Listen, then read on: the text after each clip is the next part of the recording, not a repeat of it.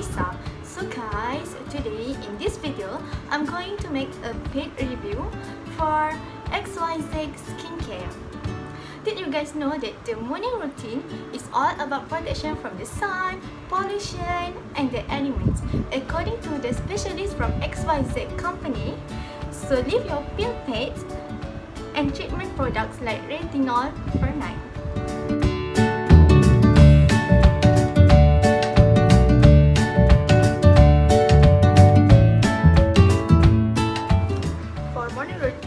First step is cleanser. In the morning, start by splashing your face with warm water or if you must, wash with a gentle face cleanser designed for your skin type. Second step is toner.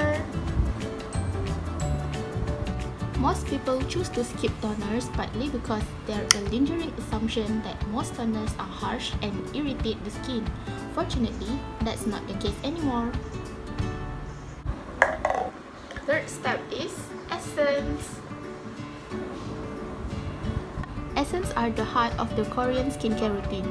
These liquids lend a major boost in moisture. Fourth step is moisturizer. Most experts recommend that the best time to apply a moisturizer is while the skin is still damp, so the sooner you go through applying your serum and treatment, the sooner you're able to lock in much needed hydration with your moisturizer.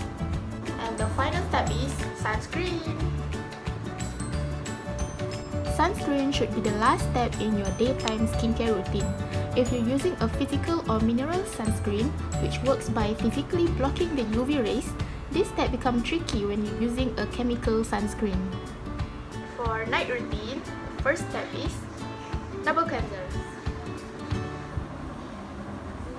Double cleansing may sound like a lot of effort, but it can actually make your skincare routine much easier.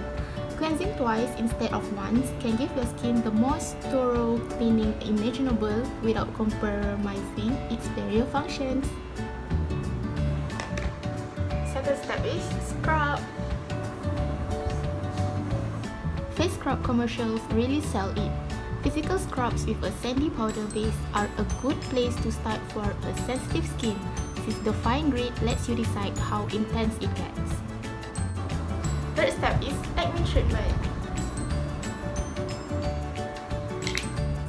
Like the rest of the body, skin does the bulk of its repairing, restoring, and regenerating as we sleep. However, instead of layering out all your treatment serums and creams, choosing your evening treatment depending on your skin's of the moment needs. And final step is mask. If your skin is on the dry side, you may want to add a hydrating cream mask. For most people, once a week is plenty. For additional care, you must use lip balm. If you suffer from persistent cracked lips, this soothing and reparative lip balm really works wonder. And don't forget lotion. Lotion provides light control for fine or thin hair of all lengths, resulting in a natural look with slight definition. That is everything from my skincare routine. Are you guys enjoy watching it? Thank you so much for spending your time to watch. If you have any questions, I'll do my best to respond to as many as possible in the comment section below. And most important, don't forget to like this video and subscribe my channel. By the way, do click the link below to purchase. You will never regret it. See you again. Bye.